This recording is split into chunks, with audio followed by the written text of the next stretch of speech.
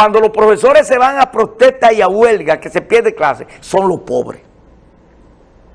Iniciando el año escolar, independientemente a la justeza de los reclamos, no estoy de acuerdo que siempre he dicho que el, sindicato de los profesores tiene que adecuar su método de lucha a una hora que no se pierda clase. Que los estudiantes en un sistema educativo que estamos en los últimos lugares del mundo, donde los estudiantes, ustedes han visto todas las evaluaciones que se han hecho, de estudiantes y profesores, de estudiantes y profesores, quedamos en los últimos lugares en matemática, en lengua española, en ciencias sociales, en naturales y en otras materias, quedamos en los últimos lugares. Entonces, es un crimen, independientemente a la justeza de los reclamos, que iniciando esta semana el año escolar, ya hoy jueves, se perdió el día de clase y se prevé que se van a perder otro día de clase. Yo no estoy de acuerdo con eso. Que me perdonen mis amigos profesores y los dirigentes, yo no estoy, igual que cuando los médicos se van a huelga en esos hospitales, independientemente a la justeza de su reclamo, yo siempre digo que hay que ser cuidadoso, porque se imagina un pobre que eh, eh, el único sitio que tiene de ir es un hospital público, independientemente a las condiciones pero por lo menos ese es paño de lágrimas de pobre el hospital. Entonces que un médico se lanza a una huelga, porque esos son servicios estratégicos de un país. Esos son servicios, eh, la salud, la educación, el servicio eléctrico, son servicios estratégicos que hay que ser muy cuidadoso y muy prudente. No sin quitarle razón a los pedimentos y sin sacarle responsabilidad a los diferentes gobiernos que hemos tenido, porque en todos los gobiernos ha sido el mismo can, en todos los gobiernos. Pero ustedes vieron que hubo un tribunal de Barahona que cuando le pusieron el problema de la huelga de maestro que se produjo en Barahona, y que los, estudiantes estaban perdiendo días tras días de clase, los padres, viendo la situación de deterioro del sistema de salud, sometieron una instancia ante un tribunal en Barahona, que luego esa instancia fue al Tribunal Constitucional, y el Tribunal Constitucional, en una sentencia histórica, determinó que no, que hay momentos en que la huelga no puede estar por encima de, la enseñanza. Entonces, eso independientemente a la justeza, pero es el método. Usted no puede coger porque su lucha sea justa. Y entonces, porque ¿qué le importa a un gobierno que un estudiante dure un año sin recibir clase? Es el estudiante, el padre de familia, que ve la esperanza en ese niño de hacerse profesional para ellos superarse. Pero todas esas lagunas, y mira qué coincidencia, las grandes lagunas se ven en, en el sistema educativo público, porque a nivel privado, independientemente de que en los últimos tiempos, porque han mejorado los salarios del sector educativo público, mucho, porque me conta a mí con dueños de colegios que me han dicho a mí que se le van cada rato los profesores, porque en el sector público pagan 10 veces mejor. Pero sin embargo, cuando usted ve que esos colegios envían, como es por ejemplo el Colegio Continental, que ha participado en más de 10 Olimpiadas, o quedan en primer lugar, o quedan en el país entero y fuera del país. Oigan esto, porque me conta que el ingeniero Andrés Pinal, propietario de ese colegio tiene profesores de Cuba, de, Haití, de Jamaica y de otros países. ¿Tú querías algo, Ambiori? Ah. Entonces, este, debo decir que yo quiero hacer una exhortación de buena fe a los profesores. Hay métodos de lucha que en un momento dado no son justos. Y que hay que poner por encima de todo el bienestar de los estudiantes pobres. Que ellos puedan tener el pan de la enseñanza, que ellos, independientemente a la justeza de los reclamos de los profesores, que yo no me opongo, pero no podemos cargar el dado a los estudiantes, que sean los que se perjudiquen, en un sistema que todo el mundo lo ha cuestionado, porque no ha tenido avance en términos pedagógicos. Señores, usted le hace una evaluación a profesores y a estudiantes. Porque que, eh, eh, yo he visto que los profesores dicen que yo no estoy diciendo que tengan razón el gobierno. Yo no estoy diciendo, pero yo le voy a decir lo siguiente a ustedes.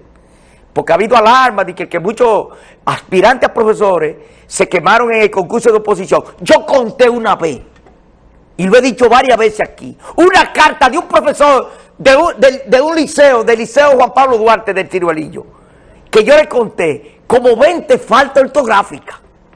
Este que está aquí. Entonces, si usted en un texto se le cuentan 20 faltas ortográficas, usted no está apto para dar clase, vamos a estar claros en eso. He puesto un ejemplo en innumerables ocasiones, que una vez mi querida amiga Fina de Pimentel, ya terminándose el programa de ese día, eh, eh, alguien llamó y metió un tema y me dijo, Fina, no se vaya sin decir eso. En Japón, oigan esto, en Japón cuando un ciudadano vive al lado de un profesor, lo felicitan. Ajo, tú eres un privilegiado que vive cerca de un profesor. ¿Saben por qué? Porque en Japón son profesores lo más inteligente que tiene ese país, igual que los otros países. Pero se pone el ejemplo de Japón, felicitan. ¿Sabe lo que dicen en América Latina y en República Dominicana cuando usted es profesor? Se burla y le dice, eje, te metiste a profesor porque no diste para abogado. Porque mientras ya son la inteligencia de esos países, que, porque no puede ser todo el mundo profesor. Todo el mundo no tiene las condiciones para ser profesor, para enseñar, para, para tener esa vocación de enseñanza, no todo el mundo. Entonces, claro está, tengo que decir una cosa, como digo una, digo la otra. Los profesores en esos países son los mejores pagos. Porque es enseñar el futuro de un país, los futuros estadistas, los futuros eh, médicos que van a salvar vidas, los futuros ingenieros que van a construir, que van a inventar cosas. Entonces, aquí cualquier profesor, señores, perdónenme, pero eso es así. Buenas tardes. Ah. Sí. Buenas tardes, ¿cómo tú estás? Mira, Omar, respecto a los profesores, no compares tú Japón con este país, porque este país... No, yo no lo estoy comparando, yo estoy haciendo, yo no lo estoy comparando. Pero déjate decir para que... Este país vive de amiguitos y de enganche y enganchan a todo el mundo, pero allá no, allá van a ti a, nombrar por tu capacidad. Claro, ¿entiendes? claro. Tienes que pasar por una escuela eh, muy oficial para ver si tú es tu, es tu capacidad que te emplea a ti. Pero aquí hay revés, aquí, aquí emplean la brutalidad. Tú oye, porque es amiguismo y la política, desde que la política se metió en, las escuelas, mira lo que está pasando. La laguna que están el día de hoy. Cuídate mucho. Gracias, mi amor. Mira, aquí me dice David Díaz, relacionador público del ayuntamiento, un gran amigo y hermano, gran periodista, que los domingos no hay loto. Solo los miércoles y los sábados. Bueno, yo, cuidado si este hombre está mal de la mente, porque... cuidado si este hombre... Bueno, don David, gracias. Los domingos no hay otro. Yo no domino mucho eso, señores, eso de juego. Yo no, yo sí es verdad que de eso no sé nada. Aquí me pusieron otro mensaje a ver. Eso se busca en internet. Vamos, a ver esta llamada. Buenas tardes. Buenas diario ¿Cómo dice? Que no dice que, que, no, que no hay kilo más, que son 10 números de 20, pero que se lo tiran diario todos los días. Ah, bueno. ¿Y, y, y, eso que tiran de Kimbo, eso es por Leisa? Ah, se fue.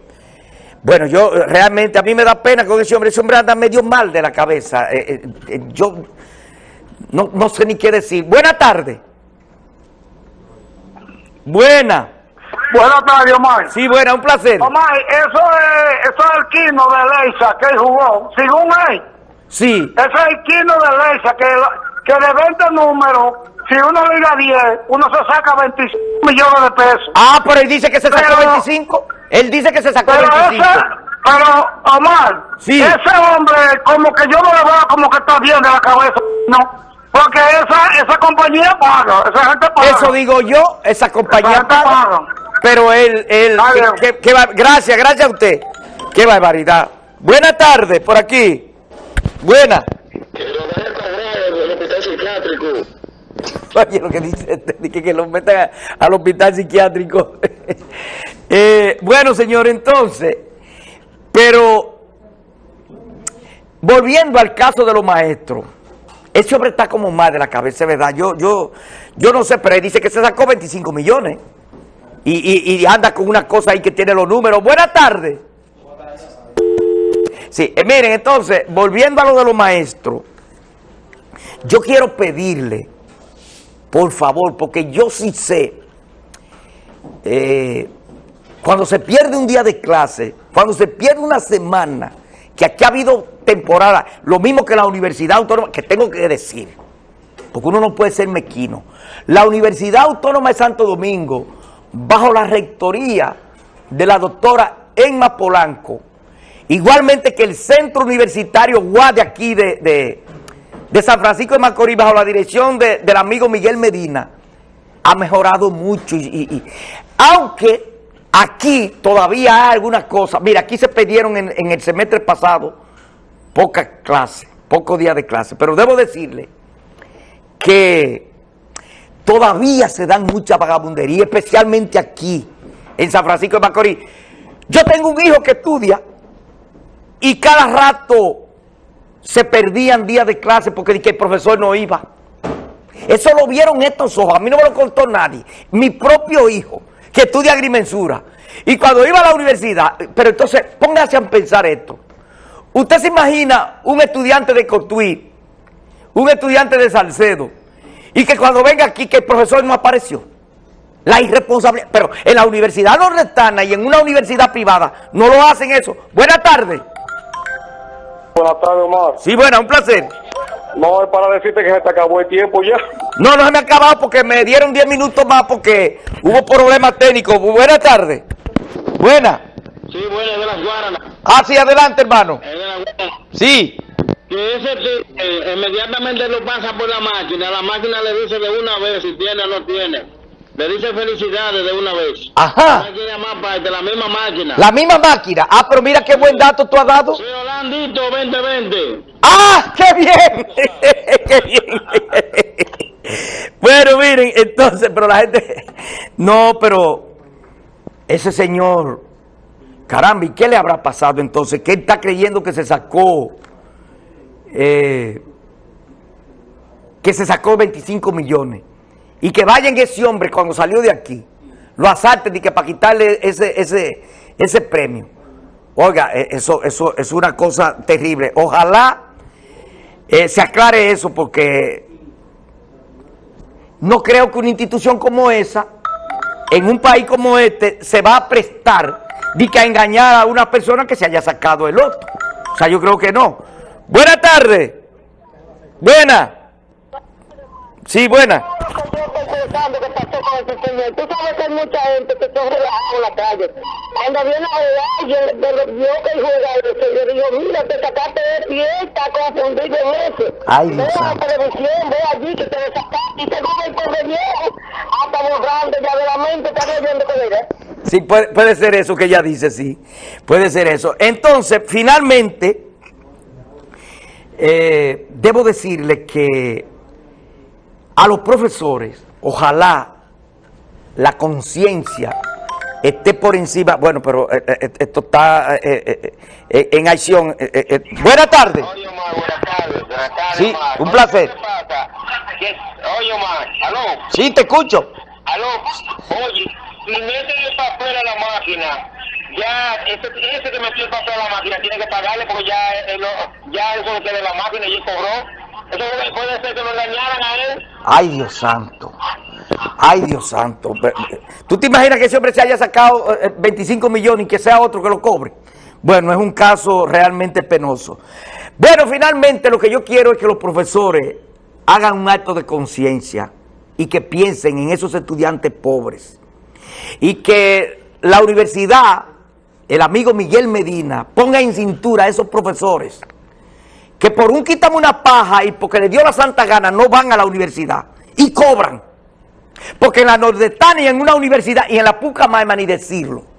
Y en Unive ni pensarlo. De que, que un profesor, la Pedro Enrique Ureña, de que, que va ahí cuando le dé la gana. No, lo hacen en la Universidad Autónoma de Santo Domingo. Porque esa universidad todavía tiene que corregir muchas cosas. Porque todavía ahí hay muchas cosas que son anormales que hay que corregir. Vamos a estar claros. Es la universidad del pueblo, pero amor no quita conocimiento. Estos son temas que mañana eh, lo vamos a seguir tratando porque definitivamente el año escolar no debe empezar perdiéndose clases. Señores, gracias por haber compartido con nosotros y nos vemos mañana. Feliz resto de la noche.